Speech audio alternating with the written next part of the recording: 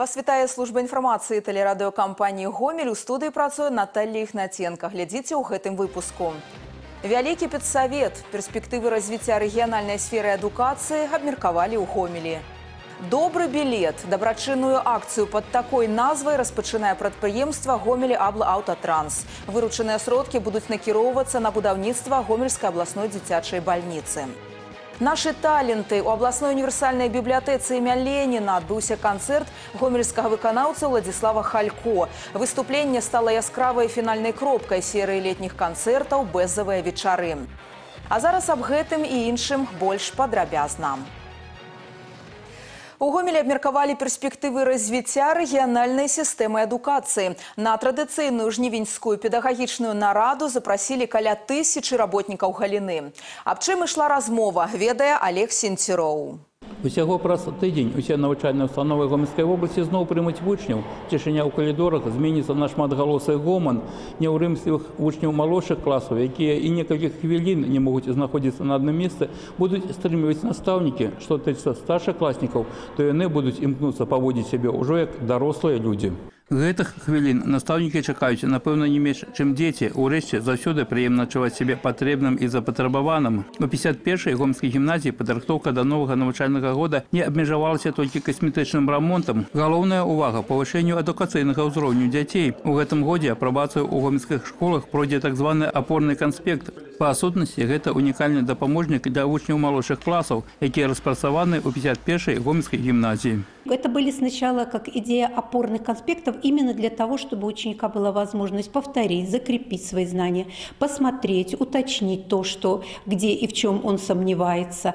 Постепенно это переросло в какую-то свою методическую систему, и на уроке мы ее используем как учебное пособие. Подчас работы областной педагогической конференции якости адукации особливая увага. Тем больше, что тут есть резервы. По выниках проведения сёлетнего централизованного тестирования средний балл школьников в области у упершыню аказаўся лепшым у Беларусі, але пры гэтым у шэрагу раёнаў ён усё яшчэ не вельмі высокі. Падчас нарады прадастаўлення роўных для ўсіх умоў атрымання якаснай адукацыі называюць самым галоўным глобальным пытаннем у дзейнасці галіны. Качество образования и методическое обеспечение дошкольного образования.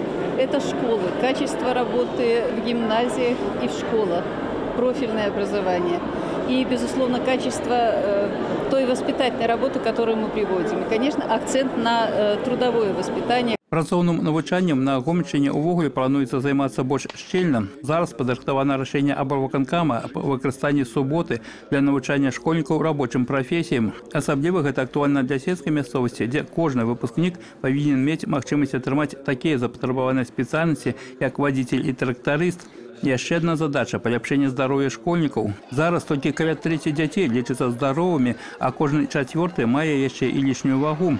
Якаснае харчаванне гэта задача для школьных сталовых і буфетаў. У зоне ўвагі установа адукацыі на гэты навучальны год таксама ўзмацненне профілактычнай работы. Пакуль у 12 раёнах вобласці азначаецца рост злачыннасці сярод непаўналетніх і бадай самае галоўнае кадравае пытанне. Прэстыж прафесіі плануецца ўздамаць у тым ліку і праз прафарыентацыйную работу сярод школьнікаў. Для нас это очень значимо и очень актуально. Если будет э, хороший, крепкий студент, это в будущем хороший учитель, хороший преподаватель средних специальных учебных заведений, высших учебных заведений, обладающая большим объемом знаний и умеющая передавать эти знания подрастающему поколению. Олег Сентюров, Валерий Капанько, телерадиокомпания «Гомель».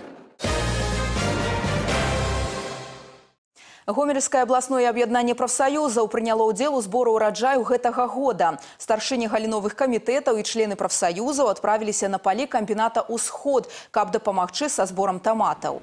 Акцыя «Прафсаюзная салідарнасць» – гэта магчымасць унесці свой уклад у ход уборачны 2017. Штаб Гомельскага абласнога аб'яднання прафсаюзаў змяніў касцюмы і кабінеты на працоўную вопратку і свежае паветра. Цэлы працоўны дзень яны правялі на 40 сотках таматнага поля камбіната «Усход». У гаспадарцы вельмі рады такой ініцыятыве, бо пакуль надвор'е добрае. Трэба паспець сабраць гародніну з вялікіх плошчаў.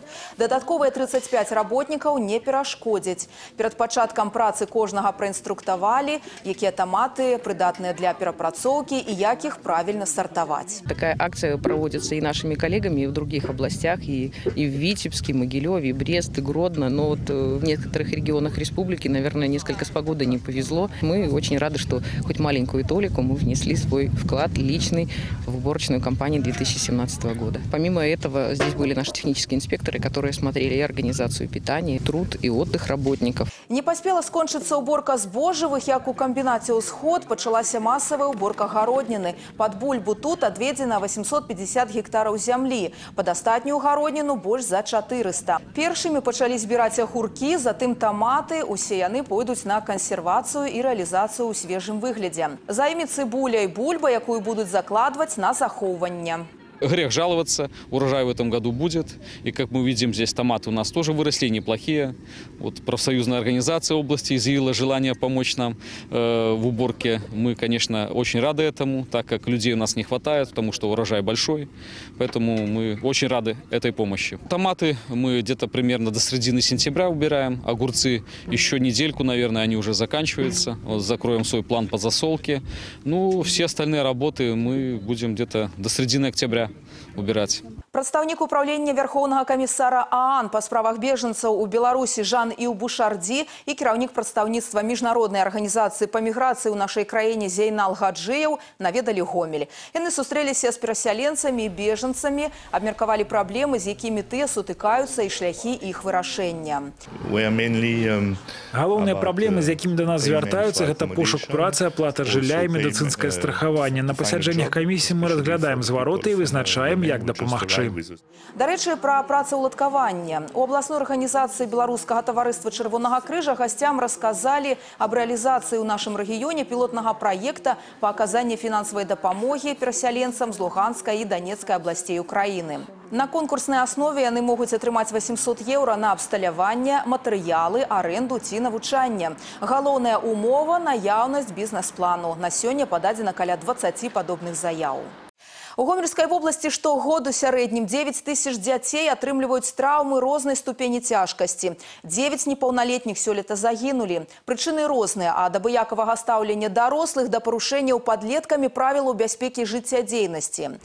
Як азначылі ў пракуратуры, за перыяд з чэрвеня па жнівень адбыўся значны рост няшчасных здарэнняў з дзецьмі. Яны атрымлівалі траўмы падчас гульняў на небяспечных тэрыторыях, такіх як чыгунка і будоўля, гінулі ад наездаў транспарту, станавіліся ахвярамі недарэчных няшчасных выпадкаў. У некаторых сем'ях адсутнасць даверных адносінаў паміж бацькамі і дзецьмі прывяла да суіцыдаў падлеткаў.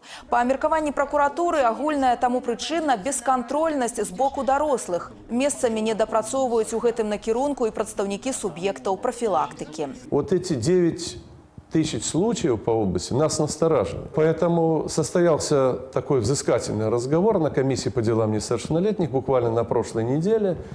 Э, Мы дали возможность высказаться и людям с мест, вот, потому что сегодня во многом зависит это от рядового учителя, от классного руководителя, от психолога, от работников МЧС и ГАИ, которые приходят в школы. Вялікая колькасць выпадкаў атрымання траўм дзецьмі адбылася з-за банальнага парушэння правілаў бяспекі падчас выкарыстання газавага электраабсталявання. Попаданне ў рукі падлеткаў зброі і небяспечных рэчываў. Так у рэчыцы пры гульнях з порахам і боепрыпасамі да паляўнічай стрэльбы пацярпелі два хлопчыкі, а ў хойніках неасцярожнае абыходжанне маці з керасінам прывяло да апёкаў яе дачкі. Прокуратура и органы уголовного преследования не могут быть безучастными к таким моментам, когда вот такая преступная, преступная беспечность со стороны родителей мы наблюдаем. Поэтому и в Реческом случае, и в Хойникском случае мы возбудили в отношении родителей уголовные дела.